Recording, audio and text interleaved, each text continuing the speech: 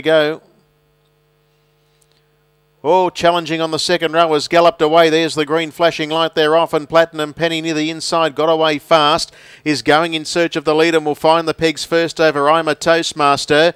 Della's Command, Major Currency, and I'm No Racing Gal is staying to the pegs as I'm a Toastmaster goes up in search of the lead. Then Princess Cleopatra followed further back by Playboy President. Our Headley was three deep trying to slot in, followed by Just Pit Boss. Well back in the field is Village Rebel, and challenging after that early misdemeanor has tacked on as last and about the best part of 12 off the leader. 28 seconds was the first quarter into the back straight. And up on the outside now, I'm No Racing Gal works around the outer and has taken up the front running to lead I'm a Toastmaster. Following it around on the outside now is Major Currency after being caught deep. And now Platinum Penny's been shuffled back to three pegs and fourth. Della's Command 1 1 from Princess Cleopatra. And then Playboy President, followed by Just Pit Boss. Our Headley's third last. Second to last is Challenging, and last is Village Rebel.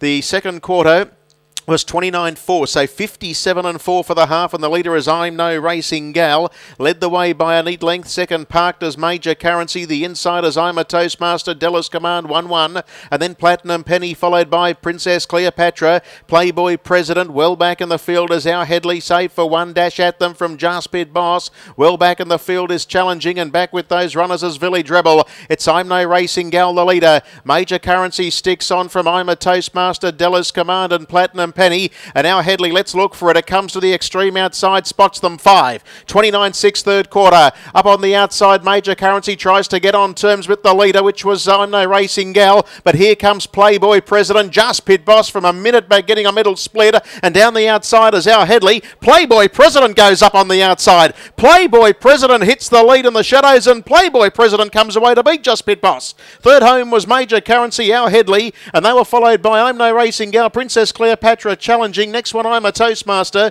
Platinum Penny. Well back to clock in was Village Rebel, and Della's Commanders finished well back at the tail, and Playboy President and Dan Morgan get the chockies in 155 and 3.